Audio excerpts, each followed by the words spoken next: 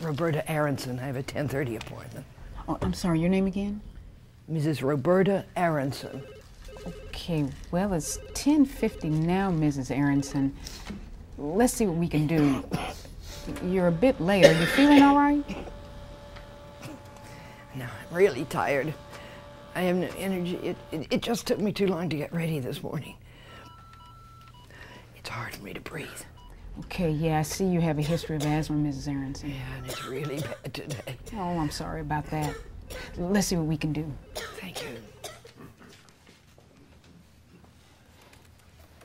Hey, Sharon. Hey, Peter, you got a second? Sure, what's up? Uh, Mrs. Aronson here is 20 minutes late for her appointment because she was tired this morning and she says it's hard for her to breathe. Well, all of our exam rooms are full right now. And have you seen the waiting room? Of course. I signed everyone in. But I've seen her here before.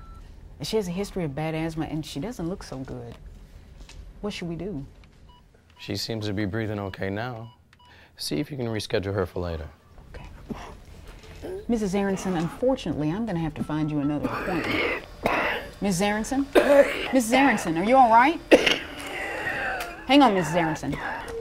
Peter, please call reception immediately. This is Peter. Peter, mm. it's Sharon. Mrs. Aronson's condition has mm. deteriorated. She appears short of breath. Uh, there are mm. no nurses or providers at reception. I'm worried. Can you notify a nurse and get here right away? Got it. On my way. Tanya, can I get some help, please?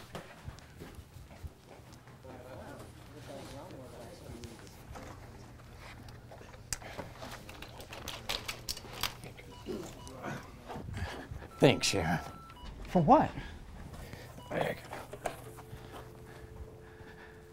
For speaking up about Mrs. Aronson. I don't know where my head was at. No problem. Just doing my job.